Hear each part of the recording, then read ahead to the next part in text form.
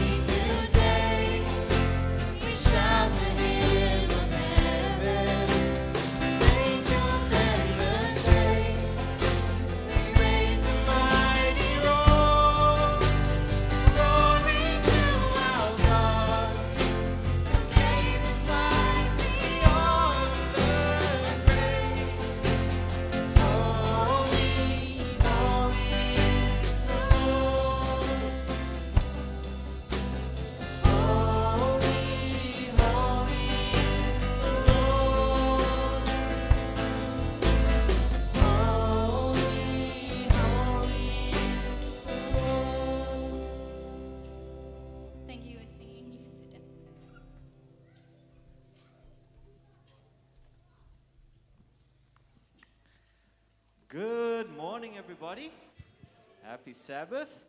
Good to see you. I see a lot of people smiling. That's a good thing. The church looks a bit empty today because half of our church is in Egypt at the moment. I hope the people of Israel come out of Egypt and come back uh, safely.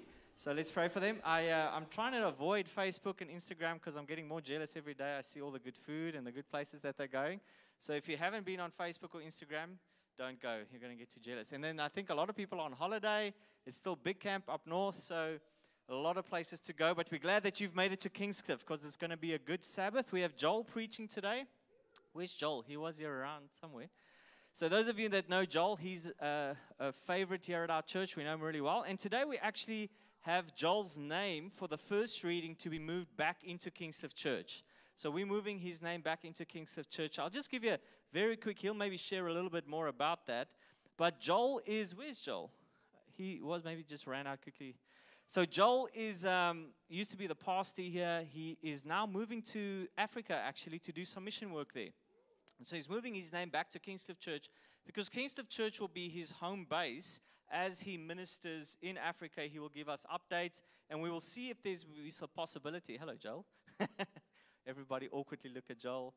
Um, Joel will be ministering in Africa, like I said, and he will have this church as his home base. He'll come back and send us some updates, even maybe send us some needs that they might have in the mission field over there. And so we're very encouraged to see God sending um, people out to mission, not just local mission, but even international mission. And we're here to support Joel and support him in what he's doing and uh, pray that God will be with him and bless him and keep him. He's a, a man of great talent and a man that does amazing things, and we know that God is going to use him there. So thank you, Joel. Joel's going to share today with us, and we're so grateful. And today's the first reading, um, and next week we'll have his second reading. Thank you so much.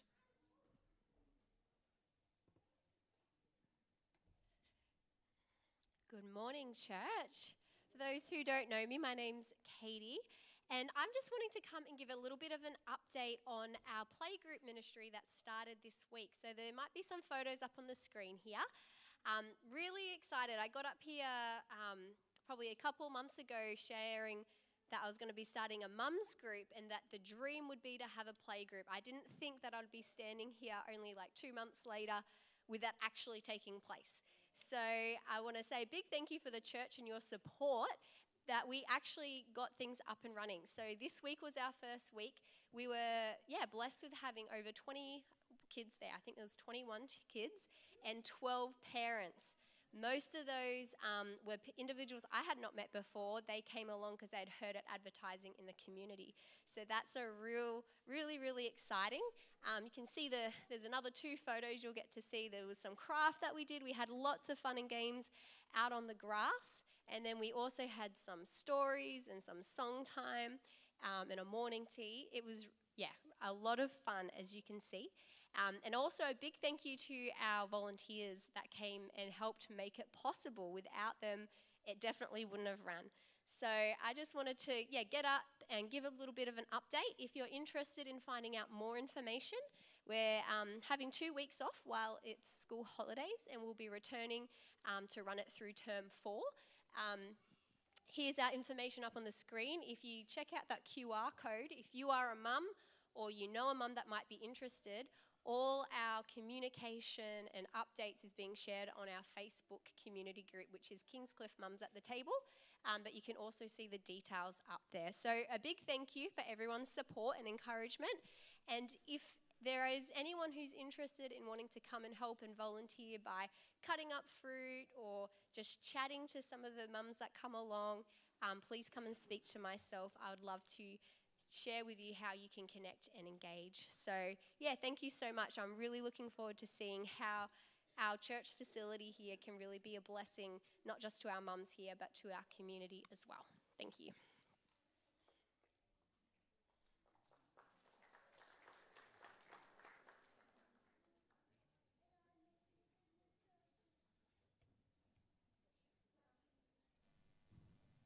Hello. Oh, there I am. Um, I have the pleasure this morning to invite you all for offering. Can I please have the deacons come to the front, please? Um, so this week's offering is actually for our local church budget. So lights, aircon, um, all that kind of thing, car park, um, all that kind of thing helps to let the church run. You don't feel as though you need to give, but if you can, that's wonderful. Um, so I'm just going to pray uh, and then we'll have some music. Um, Heavenly Father, please be with the offering. Please help it to um, grow, to spread your word, and allow us to have the means and the knowledge and guidance to be able to use it to your will. In your name we pray. Amen.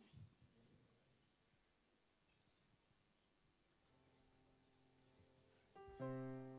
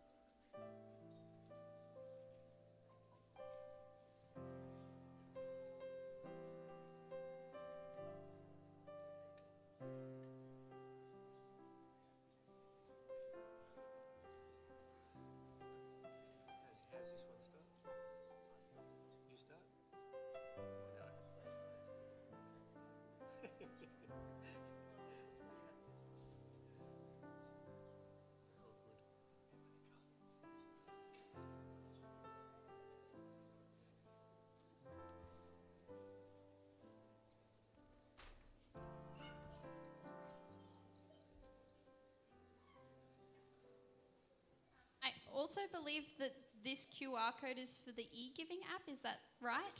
Yes. So if you don't have cash, that is, oh, wrong side. That QR code is for the e giving app, so you can do whatever you you can give, or you can do your tithe or whatever through that app.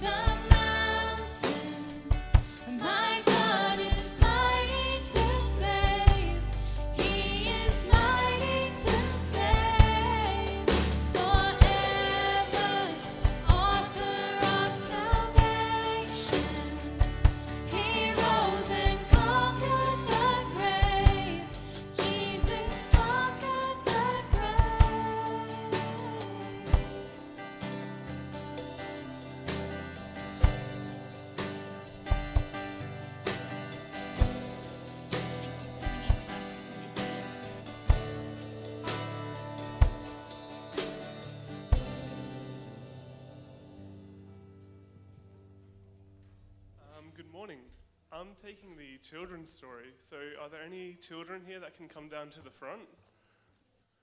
Great.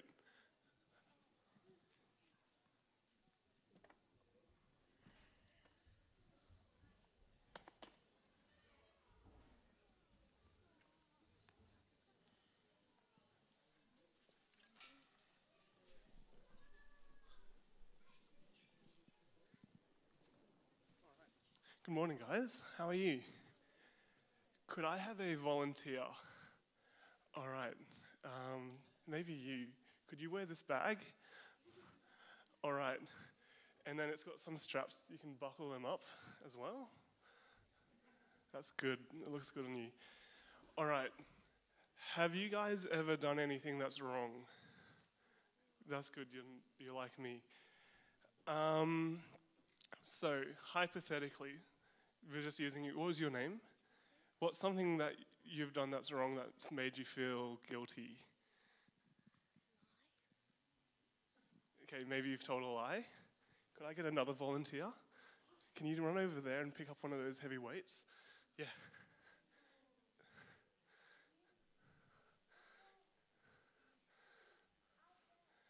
So you've told a lie, and let's say you got away with it. No one found out about your lie. Drop it in the bag. Can you feel that burden? Yeah. All right. Something else that you might do that's wrong. Does anyone have any ideas? take something when it wasn't yours. Yeah, stealing something. All right. Thank you for bringing those closer. Do you want to grab another one? So maybe you stole something and no one found out about it.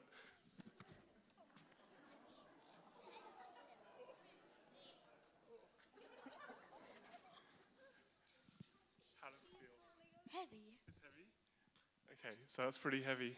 Does anyone have another example? Something that you might do that's wrong? Maybe no one would find out. Yeah? Steal the egg from a bird nest. Oh, he stole an egg from a bird's nest. That's not good, is it? All right, let's go another one.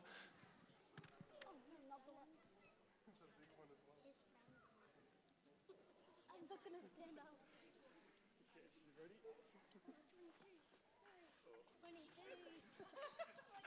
Is that getting pretty heavy? Yes. Okay, one more example. Okay, Disobeying your parents. yeah, disobeying your parents. That's not good. All right, last one. How does it feel now? Really heavy? Yes. It's really heavy. How are you going to get rid of this burden? I'm going to read you a Bible text.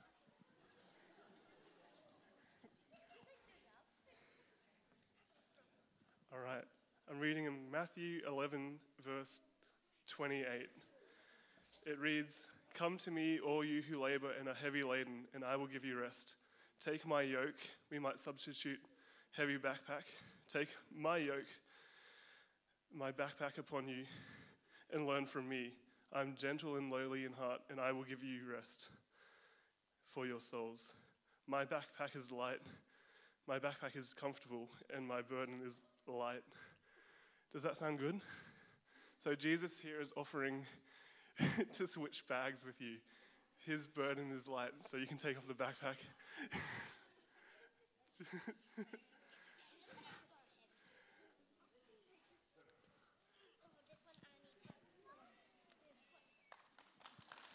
Thanks for being a good volunteer.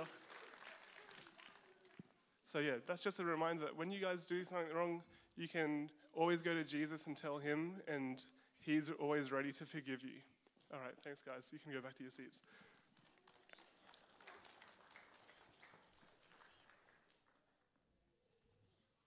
Great story, Daniel. Calibrating the weights was, yeah. All right. Um, Sam is my name, and I've been asked to lead us as a church family in prayer. So if you um, are able, take a posture of prayer that's comfortable for you, and let's bow our heads together. Father in heaven, we thank you that it's Sabbath, and we thank you that we're part of a church family. Lord, that has one mission, one vision, and that's to represent your love to a world that needs hope and um, that is in darkness in, in lots of different ways. And Lord, we just want to, we, we think of our friends at the moment that are traveling in Egypt and experiencing all that they are there. And we think of the story you called the Hebrews out of Egypt to be your special and chosen people, not to be set apart for their own sake and privilege and luxury, but Lord, to be a blessing to other people. And this week, we've gone about our vocations and our social groups and our just day to day interactions that seem small and that seem normal, but are all opportunities to influence people for your kingdom and to share your love with others. And so we just want to lay on the altar all that we've done this week. Um, we pray that you'd forgive us for where we haven't shone your light in, in our community. But scripture says that unless you build our house that we labor on, Lord, we labor in vain. And unless you look out for the city that we live in and that we um, find safety in, then, then we keep watch in vain. And so we just pray that you would preside over everything we've done, everything we're going to do this coming week, and just add your spirit to the conversations, the interactions that we've had in the community, Lord. May the seeds of the gospel take root in people's heart, and may people start to come and, and worship with us and find the blessing that we have here in community, having um, support and encouragement, and just that routine in our life where we know there's a safe space and a place of rest each week. And so, as we bathe in that today, um, listening to songs and praising your name, giving of the things that you've poured into our life, the material wealth. And Lord, as we listen to the bread of life that's broken here through Joel, as he shares scripture with us, we just pray that your spirit would draw near to us and encourage us and fill us with what we need for the week ahead. And we want to pray a special prayer for those that are ill, um, those that are recovering. Lord, we pray that you'd put your healing hand on them and um, restore them to full health soon. And we pray these things in Jesus' name. Amen.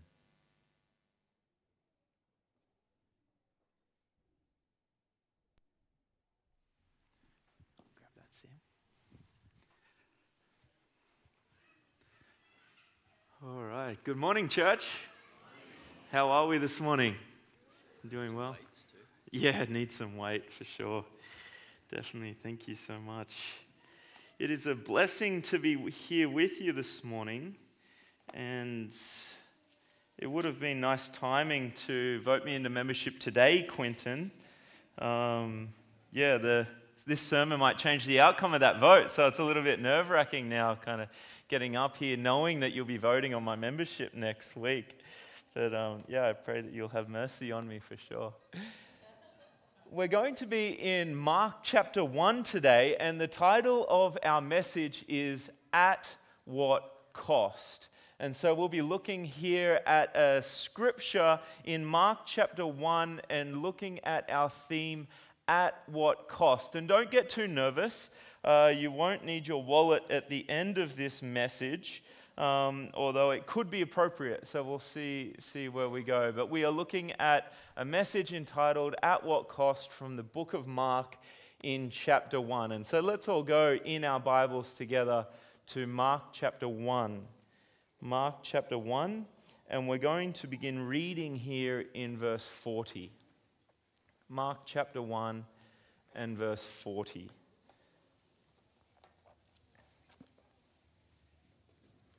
It says, Now a leper came to him imploring him. Now, this is speaking of Jesus. If you are willing, you can make me clean. Then Jesus, moved with compassion, stretched out his hand and touched him and said to him, I am willing, be cleansed. As soon as he had spoken, immediately the leprosy left him and he was cleansed. And he strictly warned him and sent him away at once, and said to him, See, that, noth- uh, that you say nothing to anyone, but go your way, show yourself to the priest, and offer for your cleansing those things which Moses commanded as a testimony to them. However, he went out and began to proclaim it freely and to spread the matter so that Jesus could no longer openly enter the city, but was outside in deserted places, and they came to him from every direction. Let's bow our heads for a quick word of prayer. Dear Heavenly Father, we just want to ask that your Spirit would be present here as we consider things in your word. The great themes of Scripture, Father, we pray that it would come to life, that your Spirit would speak to us, that our hearts may be warmed. We pray that you would speak to us in our situation, in our condition this morning. We pray this not because we need it, but because you want to give it. We pray that you would speak to us in Jesus' name. Amen. So we are here in Mark chapter 1, and we are, we are going to just move through systematically, verse by verse, and unpack. Hudson, I don't know why, but my clicker isn't working for some reason. I'm guessing it's because you're using the computer. Let's go to Mark chapter 1, and we're going to re- begin reading verse 40 once more. Mark chapter 1 and verse 40. And it says here Now a leper came to him, imploring him, kneeling down to him, and saying to him, If you are willing, what does the Bible say? You can make me clean. Interestingly, leprosy was somewhat common in the ancient world. And when I say somewhat common, leprosy encapsulated a lot of different skin conditions and ailments that people might commonly have in the ancient world. But leprosy, biblically speaking, was referring to a, a specific um, condition that was going to be targeting the central nervous system. And so I've just got a brief description here. It's from Answers in Genesis. If anyone knows this website, it's quite helpful. And it says here that many have thought leprosy to be a disease of the what? Of the skin. But it is better classified, however, as a disease of the nervous system because the leprosy bacterium attacks the nerves. It goes on to say its symptoms start in the skin and peripheral nervous system then spread to the other parts, such as the hands, feet, face, earlobes. And patients with leprosy experience disfigurement of the skin and bones, and twisting of the limbs and curling of the fingers to form the characteristic claw hand. It goes on to say that tumor like growths called lepromas may form on the skin and in the respiratory tract and the optic nerve may deteriorate. The largest number of deformities develop from the loss of pain sensation due to extensive nerve damage. For instance, inattentive patients can pick up a cup of hot boiling water without flinching.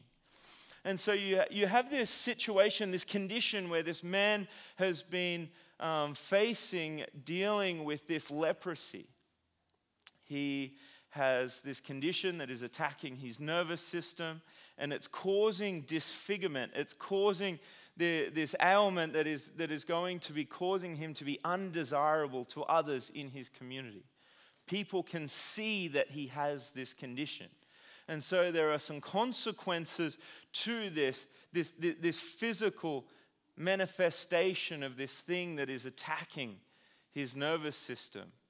Notice here in the book of Leviticus what it says in chapter 13, it says, Now the leper on whom the sore is, his clothes shall be torn, his head shall be bare, he shall cover his mustache and cry, Unclean, unclean. He shall be unclean all the days he has the sore. He shall be unclean, he is unclean, and he shall dwell alone. His dwelling shall be where? Outside of the camp. So Leviticus starts to paint a little bit of a picture as to what this man's condition meant for his lifestyle. He was a loner, he was unclean, he was to live outside of the camp, totally disconnected from his family, from his friends, from his loved ones. He was forced into isolation. Does this sound like the kind of living situation, living conditions that you would desire for yourself? Imagine being disconnected from your family. Imagine being disconnected from your children. Imagine being disconnected from those that you love because you've got this disfigurement. And every time you come in contact with people, what are you to scream? Unclean, unclean. Truly, in the ancient world, this would have been a fate worse than death. This would have been something that you would not have wished on your worst enemy. you would not want anyone to experience or endure the hardship that would come as a result of getting leprosy. Every time coming into the public sphere, yelling out, before anyone knows your name, they know that you are what? Unclean. Your hair is different, your mustache covered.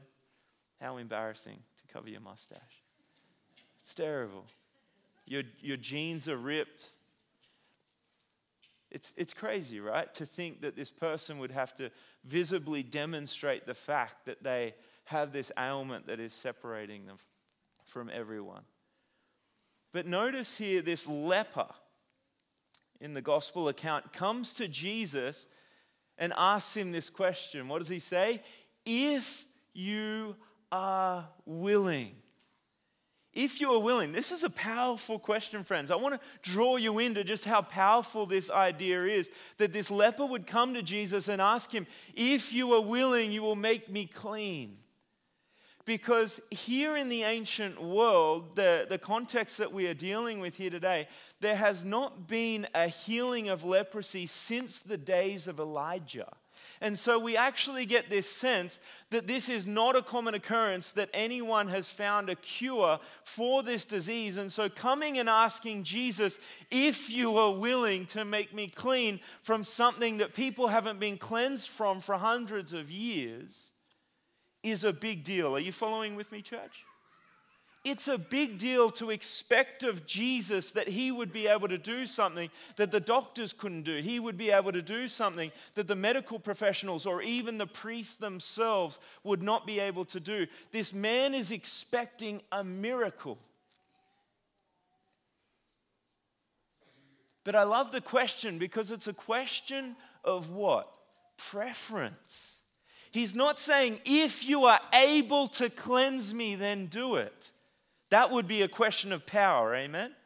He's asking, if you are willing, if you want to, in other words. Imagine the power that Jesus possesses. That if he is willing, every issue that this man or the main cause of the issues in this man's life could be dissipating in a second.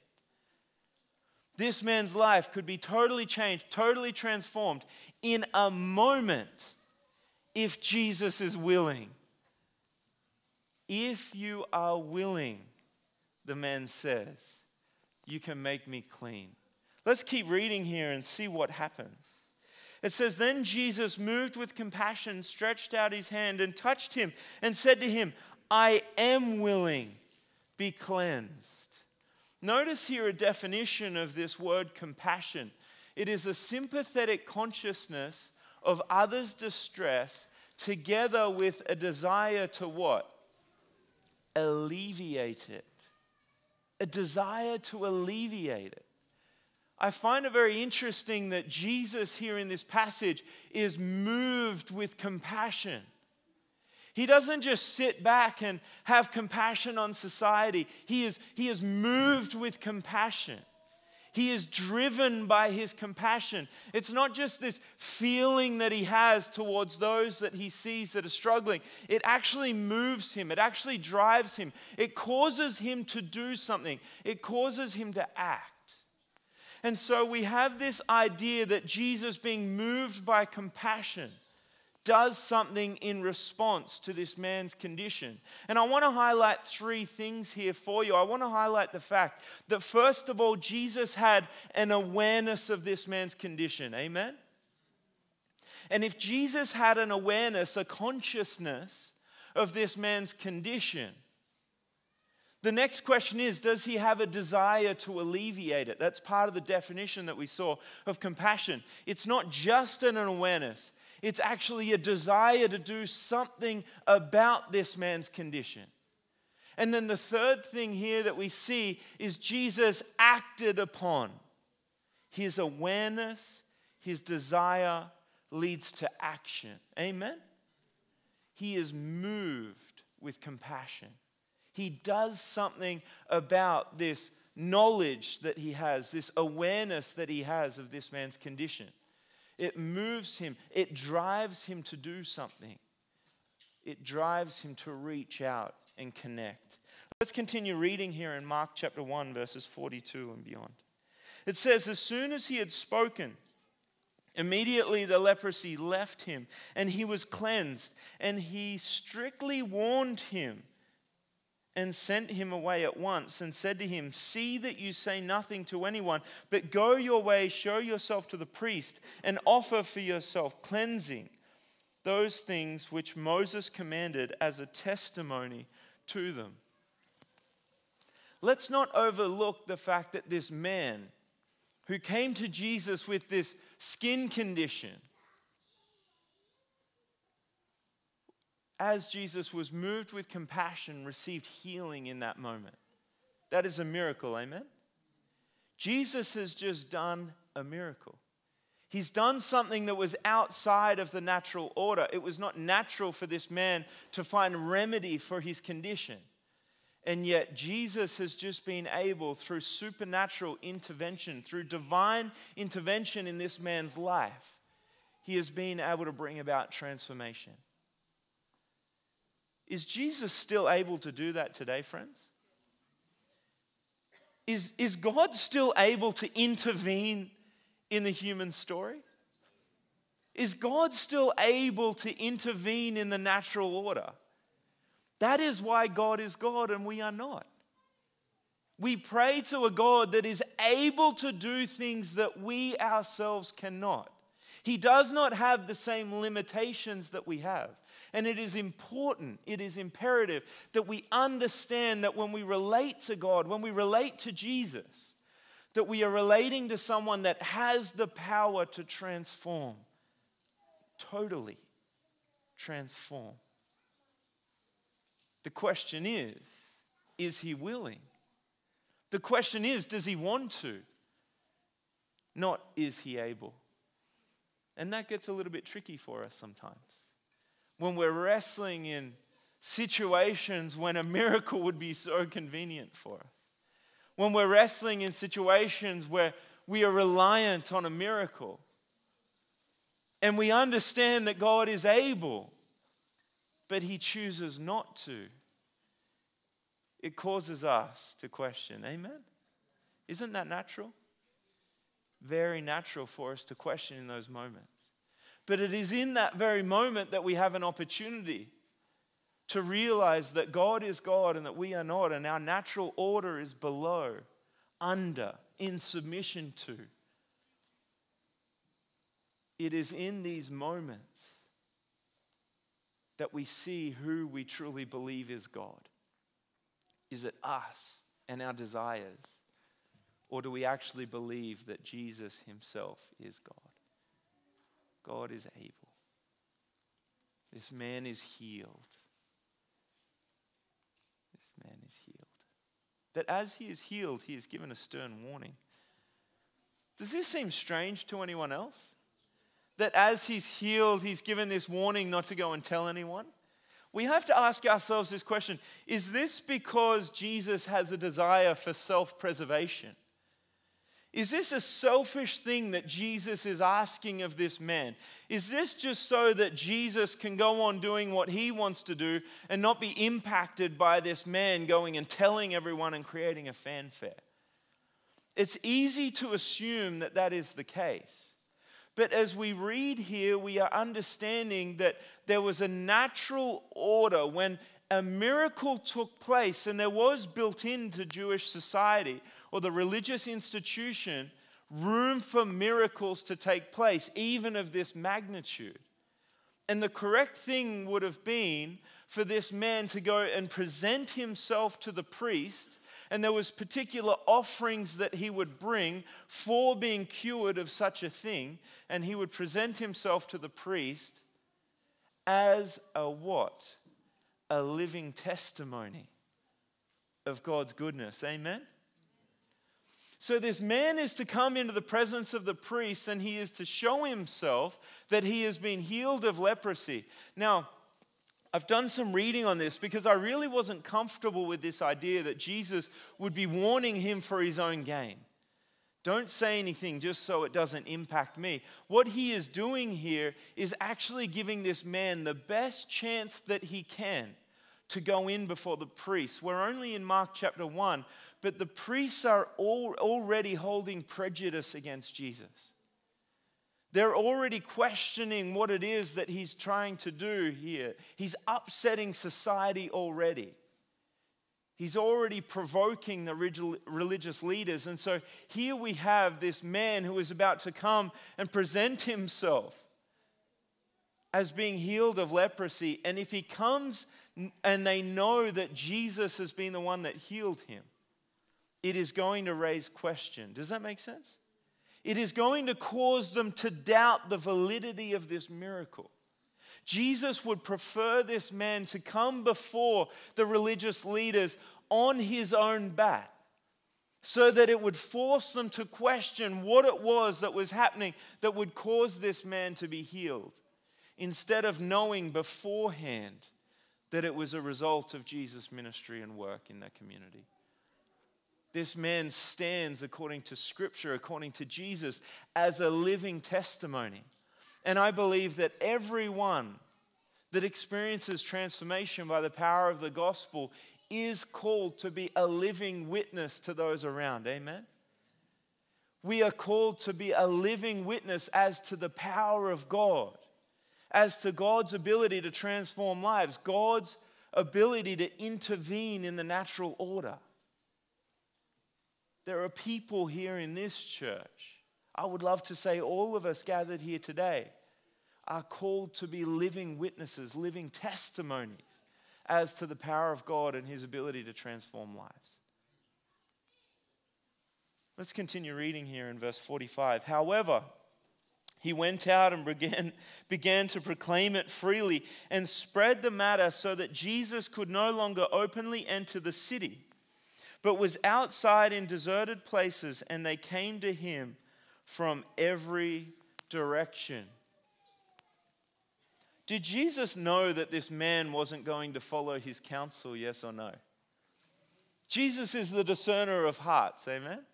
And so Jesus understands that this man is not going to follow his counsel. He understands that there are going to be consequences. And the consequence that we see here is that Jesus will no longer be able to function as he has up until this point.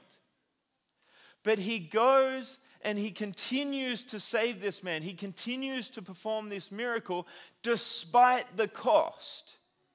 Now, who is wearing the cost in this situation? Jesus, amen.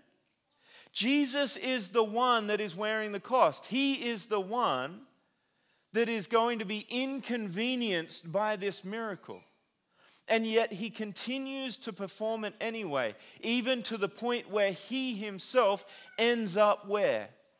In the deserted places. Did you catch that? Where was this leper forced to live at the beginning of the story?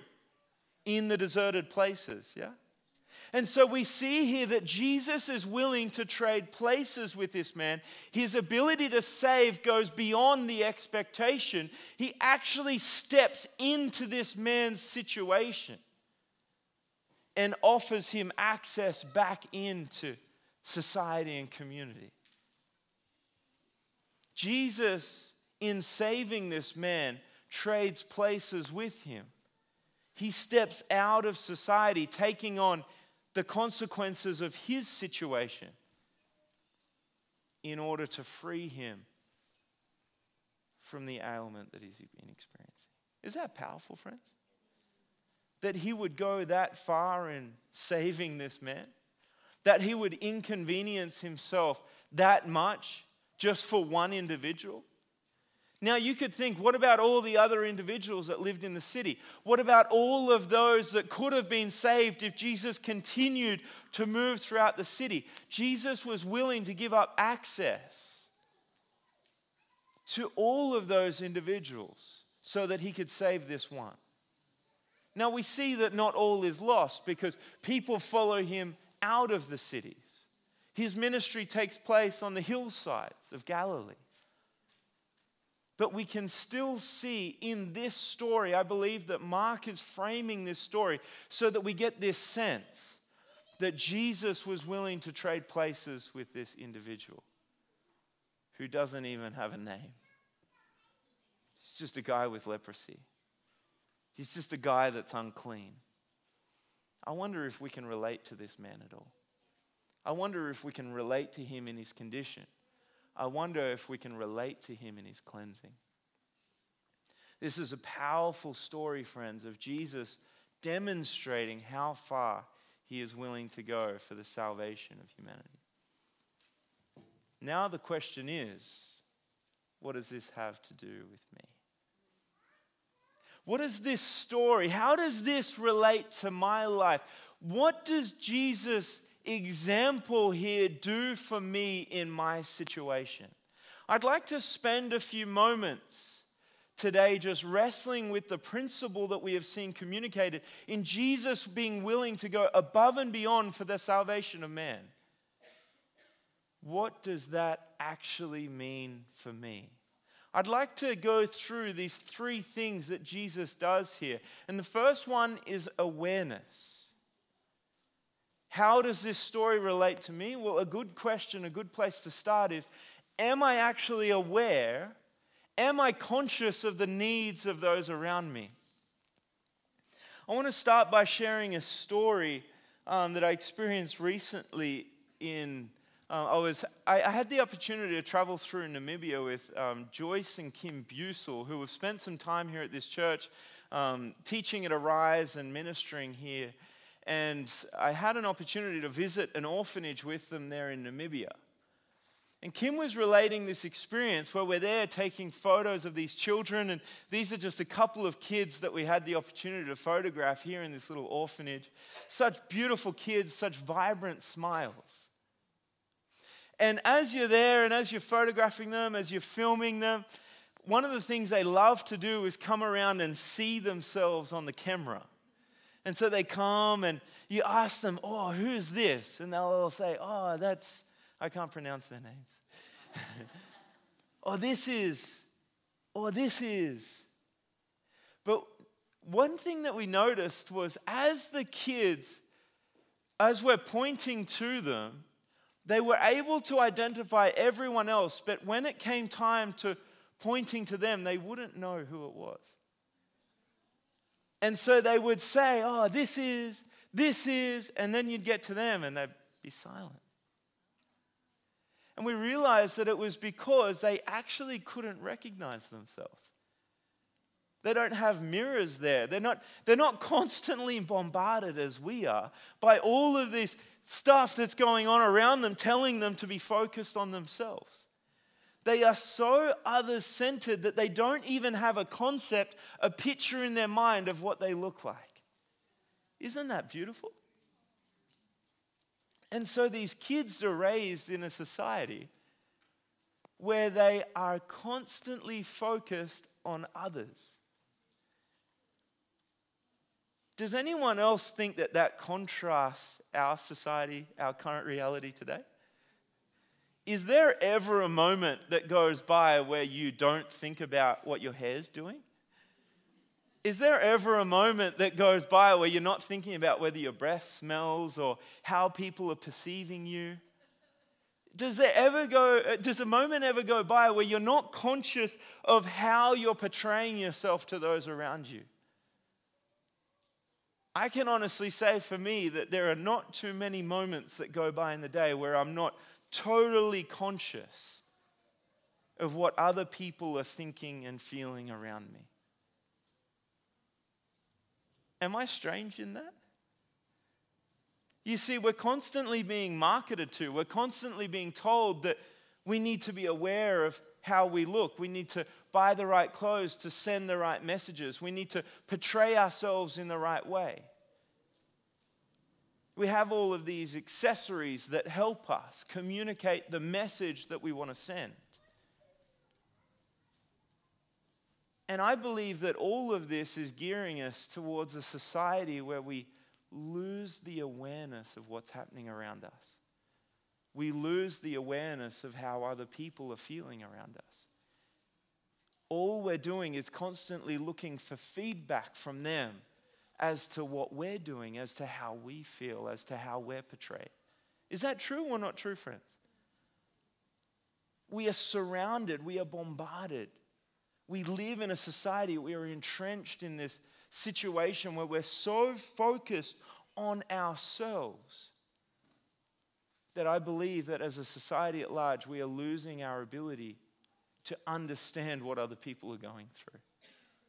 We are losing our read on other people. These kids are just such a beautiful reminder of how far we've truly come from what I would consider to be the ideal. Let's go to James chapter 5 together. James chapter 5. We'll just turn quickly in our Bibles to James chapter 5 because it talks about the last days and it gives a picture as to how people are going to be relating to one another. And we're asking ourselves, what does this message, what does this example that Jesus set have to do with me? What does it have to do with my life? What relevance does this have to my situation? We're going to go to James chapter 1 and verse 6. James chapter 5, verses 1 through 6. It says, Come now, you rich, weep and howl for your miseries that are coming upon you. Your riches are corrupted, and your garments are moth eaten. Your gold and silver are corroded, and the corrosion will be a witness against you and will eat your flesh like fire. You have heaped up treasure in the when? In the last days. It's talking about a group of people in the last days who have been heaping up treasure for themselves, so concerned about themselves, they've lost sight of everyone else. They are so worried about their clothes, they're so worried about how much they have that they're actually losing sight of everyone around them. And it's going to eat them like fire. It's going to eat them like fire. Don't miss that. It goes on to say, Indeed, the wages of the laborers who mowed your fields, which you kept back by fraud, cry out, and the cries of the reapers have reached the ears of the Lord of the Sabbath. You have lived on the earth in pleasure and luxury. You have fattened your hearts as in the day of slaughter. You have condemned, you have murdered the just. He does not resist you. What is this saying? It's saying that there are a group of people living in the last days that have managed to live a certain level of comfort on the backs of other people. Can we see that? Through exploitation, through taking advantage of other people, they are living a certain lifestyle. They have managed to gain a certain lifestyle, certain status and it's going to come back to get them. It's going to come back to get them. Why? Because we have been called as a church to be mindful of what other people are going through. We have been called to be aware of the situation of others. We have been called to be aware of not only the impact we are having, but the conditions that other people are living in. Jesus was deeply aware, deeply conscious of the situation of others. Do you agree with me, friends? That is the example that we have in Scripture. But we are living in a society where exploitation has been normalized. We, have been, we, are, we are conditioned to believe that that's just a necessary part of life. And yet, I don't believe it to be the case. So, we have this calling as Christians to be aware of the situation of others.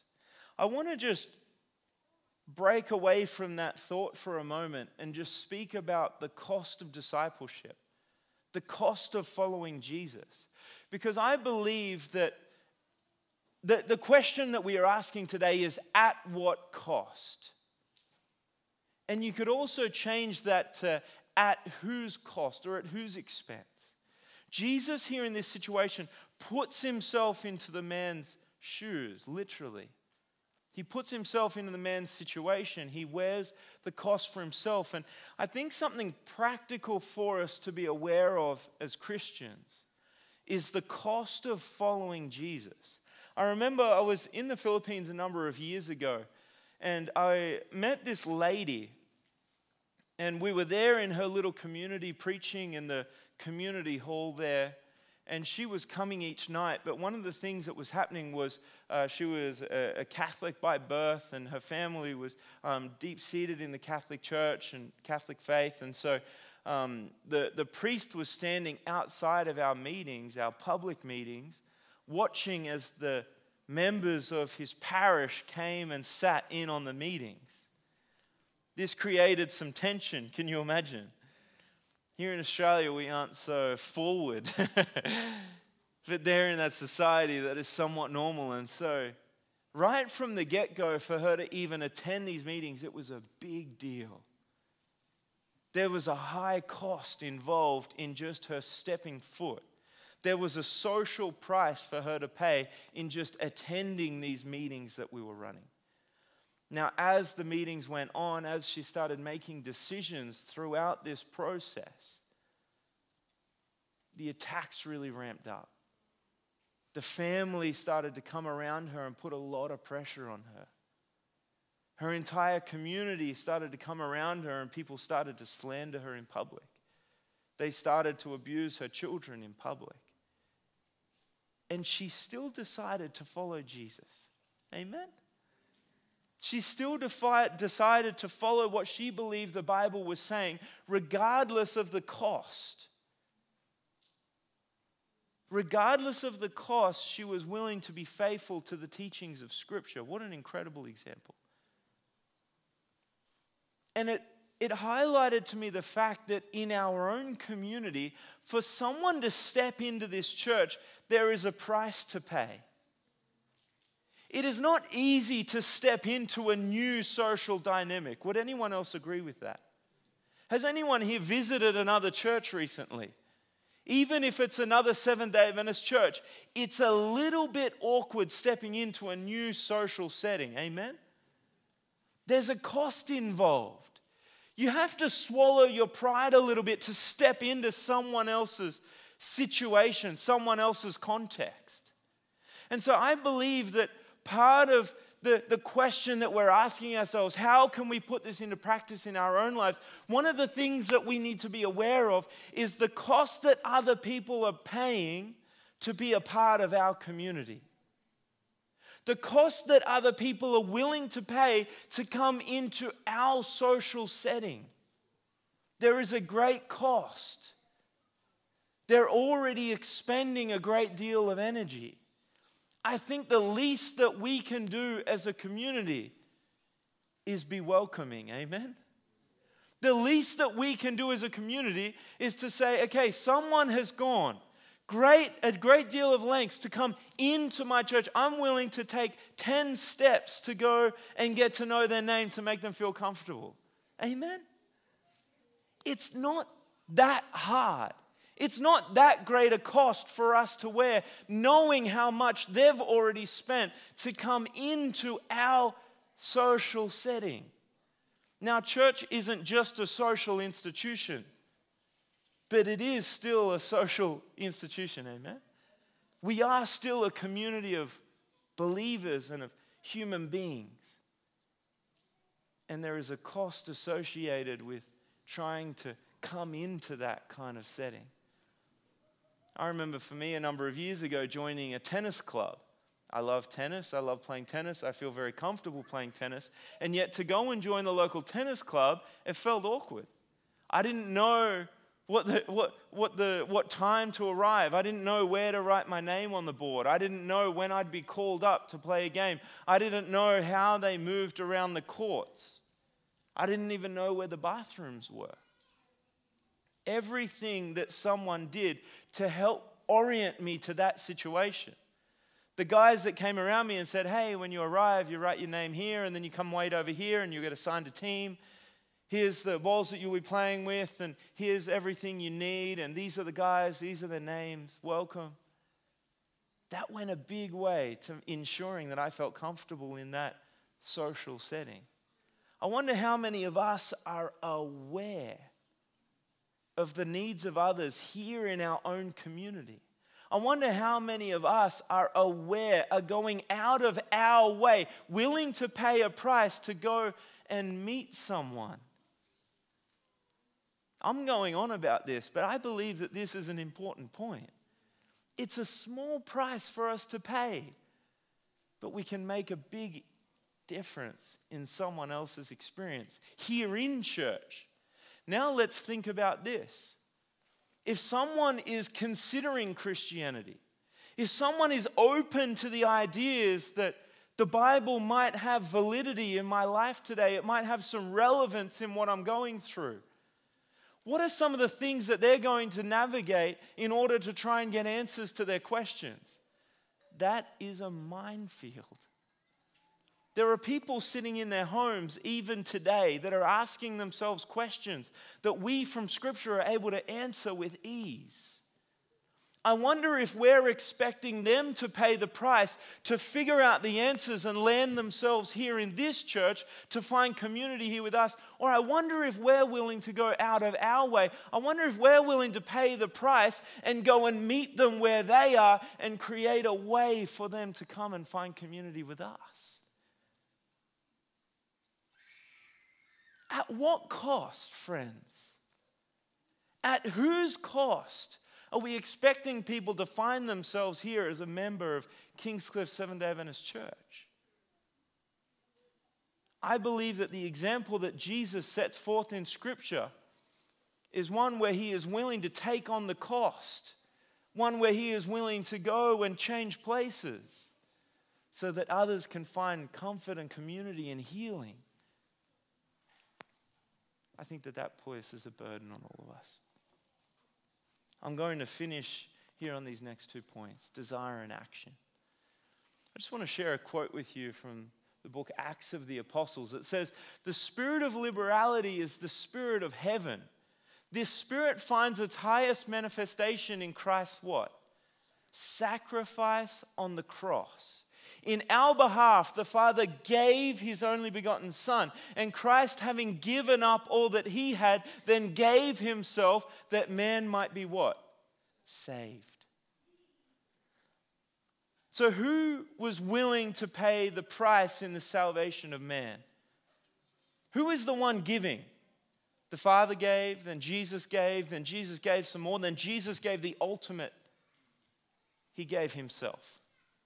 Jesus is willing to give, give, give for our salvation. It says, goes on to say, the cross of Calvary should appeal to the benevolence, the kind heartedness, the generosity of every follower of the Savior. The principle there illustrated is to what? Give, give. I love that. The principle there illustrated is to give, give. It's not enough just to give. The spirit or the, the, the principle being illustrated is to what? To give, give. To give and then give some more. On the other hand, the spirit of selfishness is the spirit of Satan. The principle illustrated in the lives of worldlings is to what? To get, get. You see, we're living in a society, we're living in communities where people are so focused on what they can get that they are losing sight of the fact that people are hurting all around them. And they are actually, we are actually living in a society where we are willing to get regardless of the impact that it has on those around us.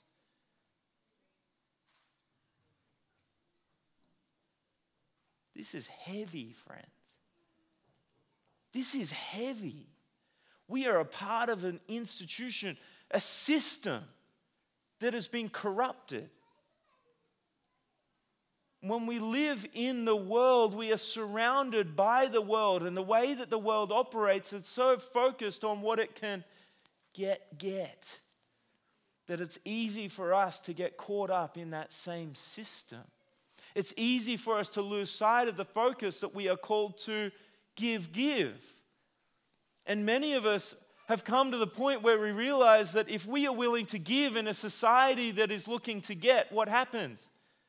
The fear is that we will dry up. The fear is that we will have nothing left to give. But that is not the case. Jesus demonstrates that when our focus is on what we can give, we don't have to focus on where it's coming from. He continues to fill us, continues to fill us so that we always have something to give. So, my question for you today is very simple. What spirit is driving you? What spirit possesses you? Is it the spirit of Christ that is looking at what you can give, or is it the spirit of the world that is looking at what you can get? Tough question. Action. What can we do with this? I believe that passively going through life, not looking to exploit others, is not enough. Just being mindful, just being aware in and of itself of the impact that we're having on others is not enough. The Bible asks us to not just be aware of the impact that we are having on others, it actually calls us to step in the gap. When people are being exploited, the Bible is telling us that we need to make up the difference. I believe that the calling that God is placing on each one of us is to actually, when we see people be exploited, when we see people that are lacking because someone has taken something that wasn't theirs, I believe the Bible is actually calling us to make up the difference. Is that a high calling, friends? Jesus comes in on the scene. He didn't cause the problems. He wasn't the one responsible for what was going on, and yet he takes responsibility. In your life, when you openly, knowingly sin, you are doing something that you shouldn't be doing. It's going to have consequences in your life. God still makes up the difference. God still saves you, even if you knew what you were doing. Now, He calls you to repentance, He asks you, He invites you to be transformed, to be changed, yes. But He still extends forgiveness and grace, even in situations where you knew what you were doing. Amen? He is willing to pay the price, even in situations where you knowingly go against Him, knowingly have an impact, negative impact on those around you. I want to just share very quickly an experience that I've had and am having at the moment. I've been invited to go across to Africa and to move to a community in Zambia, and I want to share with you the reason why. There was a situation just recently, just a couple of months ago, um, where some of the girls at this school where I was working and ministering um, had an experience where one of these girls, a teenage girl, comes up to the faculty in her school and says, I need to drop out of school. Now, here in this culture, in this social context, that's what everyone talks about. Is there anyone here that's thought about dropping out of school recently? that's just something that we joke about. If a teacher does something we don't like, I'm quitting this school, I'm never coming back. And maybe some of them do, right? So, so this student comes up and tells the teacher that they're dropping out of school. And the fact that they were sponsored to go to that school, the fact that they will never have another opportunity like that again, that you would assume they would never have an opportunity like that again come along, means that you start to ask some questions. Why would they want to drop out of school? And so the teacher begins doing a little bit of background research into what's going on in this girl's home life. And they realize that the dad had accrued a gambling debt. He'd spent far more than he had and lost it all and then fled.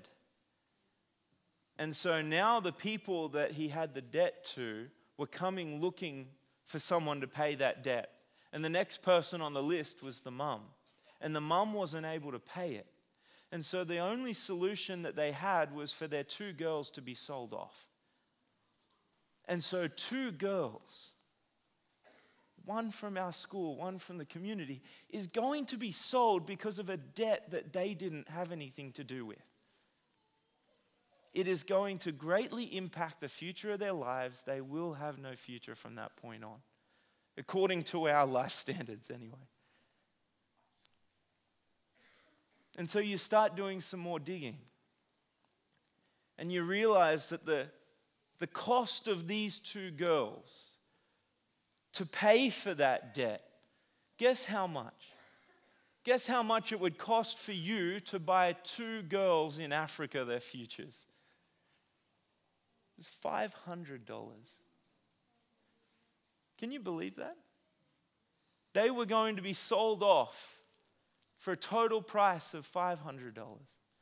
Now, some of you might be willing to sell your kids for far less than that. but the truth is that you can't put a value on a life, right? That's just in the moment. Surely that's not a constant thought that you have going through your mind. If that is, please seek help. That's not healthy. I want you to think about that for a moment. These two girls, futures would have been gone unless someone stepped in. Unless someone stepped in and said, hey, that's not right. And was willing to pay that debt, even though that wasn't even their debt. Even though they didn't have the chance of winning big on that, that risky move, that risky play. But the truth is that we are living in a world where this type of thing is happening all the time. And do you want to know the scary part? It's not just happening overseas. This type of exploitation is happening here on our shores. And it's not just about human trafficking. There's so many things that are happening here that are against God's will. There are so many things that are being done within our society that are against God's will. There are so many people that are powerless over their circumstances. They are born into circumstances that leaves them no option in life. They are forced into some ugly situations. And we as Christians have a calling to stand in their place. We as Christians have a calling to be aware of what is going on, to have a desire to do something about it, and being willing to step in action. Amen? Aren't we called to do just that? You see, it's not just enough to be aware. It's not just enough to have a desire. I believe that if we are to follow the examples of Jesus, we are being called to be aware, yes, to step into, yes. Let's sing our closing song together. I'm going to invite our band up for our closing song. You have been called to stand in the gap today. If we are to follow Jesus' example, that is what it can look like. Let's sing together.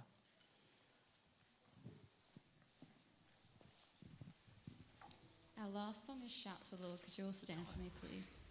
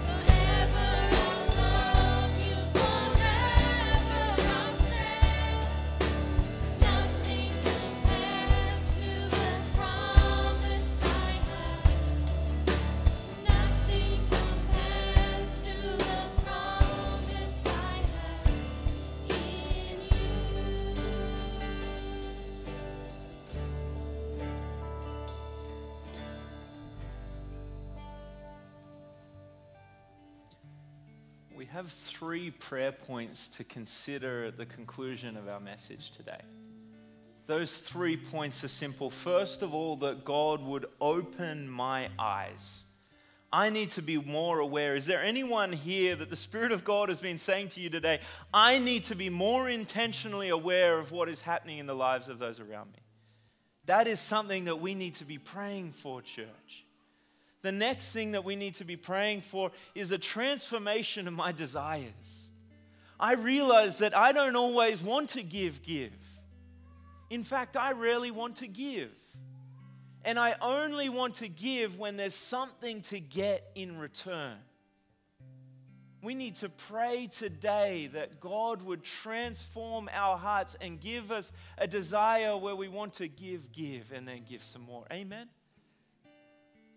The next thing that we are going to be praying for today as a community is that God would give us the courage to stand in the gap.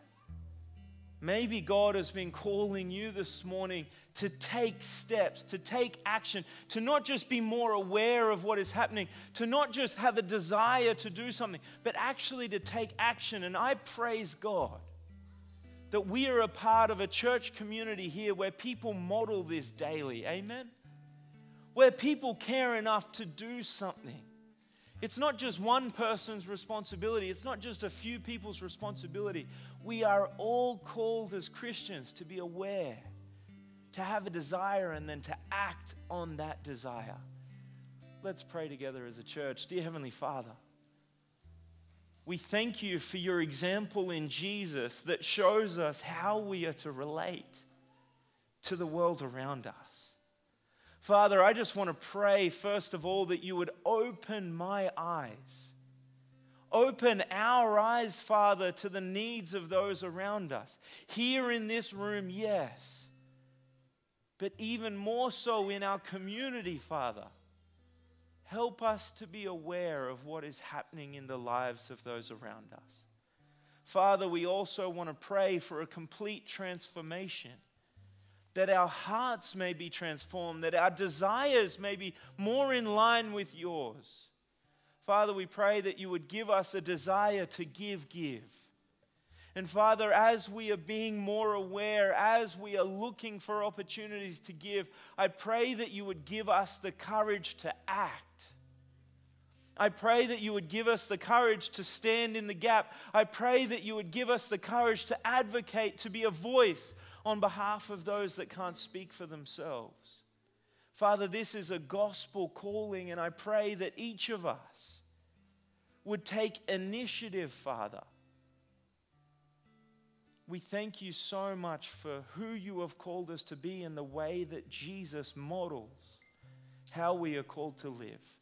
I pray that there would be many more stories as to how this church, as to how this community continue to rally together to be a blessing to those around them. I pray that we would be a church that would be organized for service, would be organized for the meeting of the needs of our community at large. I pray that you would bless our congregation so that we can be a blessing. Father, I know that you have been speaking to us this morning. I pray that you would simply give us the courage to act on our convictions we pray all of this in Jesus' name. Amen.